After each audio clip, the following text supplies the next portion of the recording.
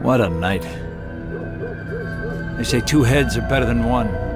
Well, I've had more than a few on my shoulders today, and I can tell you, it ain't easy. I fought zombies, I rumbled with witch doctors, I even put on a scarecrow head to get out of a scrape. And I'm allergic to straw. Why all the heads? Well, see, the bastards took mine and left me for dead.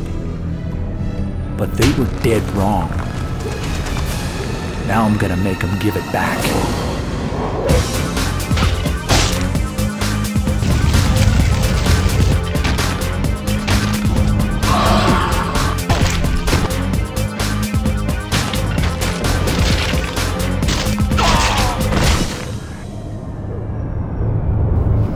Payback's a bitch.